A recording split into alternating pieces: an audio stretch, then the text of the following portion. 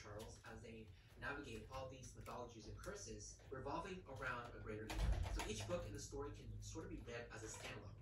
However, you pretty much won't get the big picture of their relationships and their families and their inner lives without reading each book chronologically.